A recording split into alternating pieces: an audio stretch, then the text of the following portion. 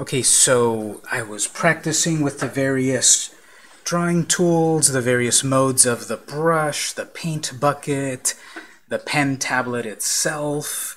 Um, did any of you try to play with the rotation of the canvas? Um, how do you like it when you rotate it? Does it make it feel easier to draw, maybe? Anyone that tried it? Hmm?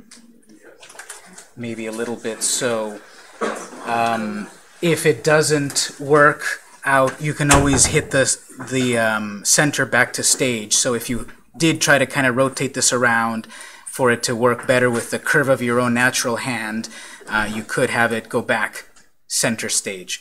So that might be useful to some people. Uh, because people sometimes what they try to do is they rotate the tablet itself um, and rotating the tablet still just is kind of weird so that might be a way to do it um, anyway once this is kind of complete at a certain point we're going to do the same thing as before so you don't have to do this right now and again this will be recorded if you want to replay it but like previously and this is also in the assignment but we would go to file export um, image. Uh, Adobe Animate directly doesn't print, but if we export a regular graphic, then that graphic can be printed from regular Windows or Mac.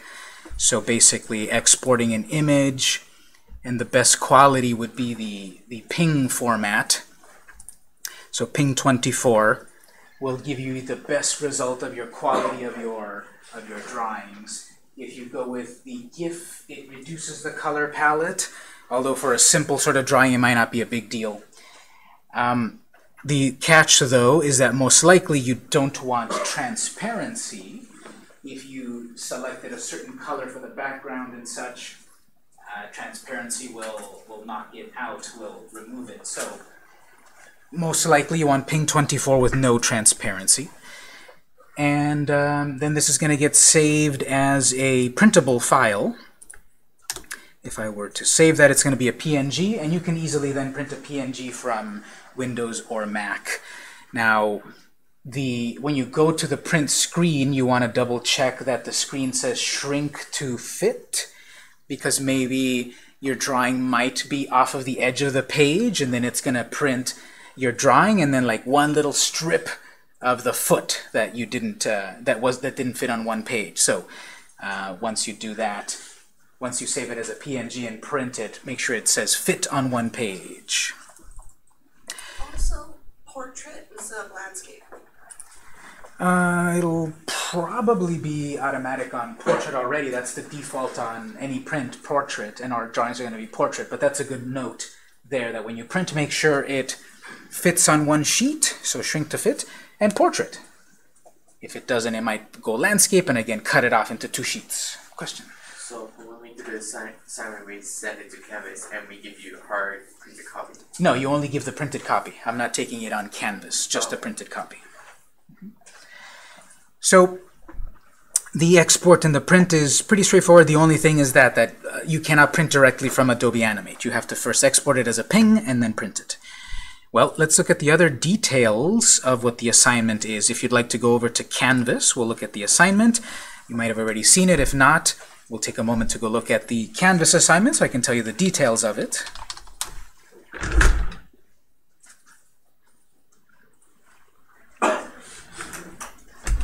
So you want to log into Canvas.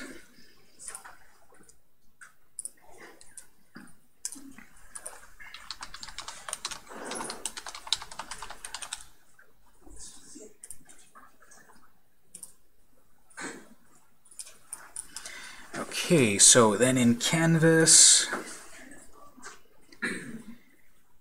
we're going to go over to our class and our, we're in week six of the semester. Uh, so we've got a spring break also at the end of the month, so that'll take a week of the instruction. Anyway, we've got uh, modules. Week six. And like I said, this week you don't have a discussion. You just have a, a, an assignment, but again, the, uh, the details of the assignment matter. So if you look at the assignment, here's the big idea. So in the network folder, which I'll put right now actually, you can get a copy of it right here from the network folder, week 6 begin. It's also there on Canvas. Week 6 begin, this is um, where you're going to start your, your assignment at. You have one requirement of a tracing, and then you have extra credit, which I'll talk about in a moment. But I'm going to give you these starting points of these famous characters from famous artists and such. Um, and you're going to import it into an, uh, an Adobe Animate project. The dimensions are in the assignment. And then you're going to trace it. Okay, well that's easy. I'll be done in two minutes. Well, no, because there's also a few other things you need to do.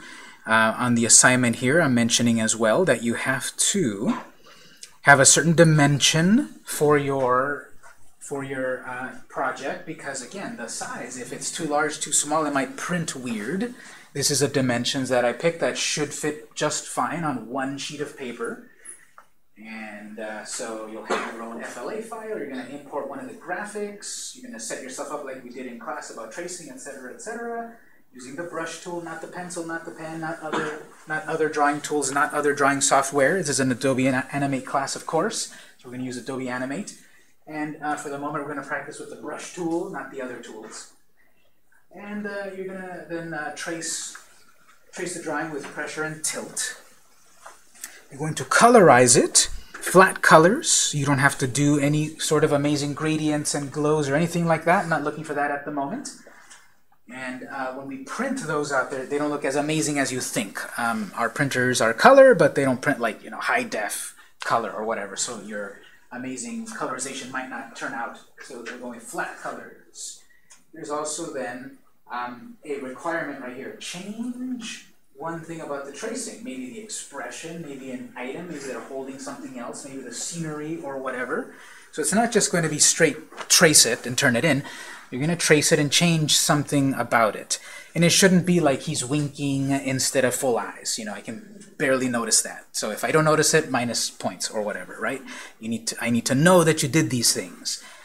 Uh, they, they need to be obvious that you did these things so I can give you the points. I don't want to argue about it later that, like, I did change this. Look, his, his, uh, his thumb is up instead of his pointing finger. No, I want something tangible. So then you're going to export it as a, a, ping file like I just noted right now and then print it out. So you only need to print out the assignment and this will be due then on Monday. It's not going to be due on Sunday like these are. This will be due by the end of Monday. So if you need one final time to work with our tablets and such, that Monday, Monday will be the last day. But I'm not saying don't work on this until that Monday because we're still going to have a lecture. We're going to have a lecture, and then you're going to have lab time to turn it in. And I'm not going to have the printers on when the lecture is going on for you to print during the lecture. So it's going to be a regular lecture next week, but you'll have the final lab time to turn it in by 4.30 next Monday. And then if you heard extra credit, yes, there's extra credit. Now this is extra credit. This is, doesn't take place of the regular assignment. You can do your own character. Draw your own original character in Adobe Animate, brand new. Uh, you can trace it off of something else that you've done before, but you need to do it in Animate. And then also, you know, draw it, colorize it, turn it in, uh, print it out, turn it in. Extra credit. You can get up to two points. 20% of an assignment. So um, that's the extra credit. The requirements are all right there. You did this or not. It's Some of them are going to have more nuance. Some of them don't. You did it or not, no points. Some of them you kind of did it, some points. So make sure you check what that is about what is required and what is not. All of these are pretty much you did it or not. So you can quickly drop in points if you don't do a thing. And then there's the extra credit, which I guess can make up for it, but only up to two, up to two points. So that's going to be the assignment for this week. You're going to, from the selections that I've got for you here, select one of them to import, draw it, change something, color it, print it, turn it in by Monday. Questions? So some of them have like backgrounds, but we're only tracing the characters, right? Uh, no, you want to trace as much of it as you can. So let me open up one of these. So this one, um, you know, this is it's got some stuff there like stalactites or something. So you would draw, you would want to recreate as much as possible the original drawing, and then just change something about it. Like uh, what's another one over here?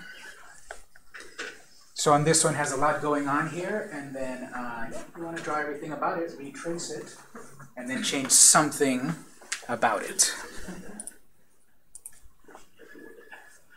So that's going to be the assignment there.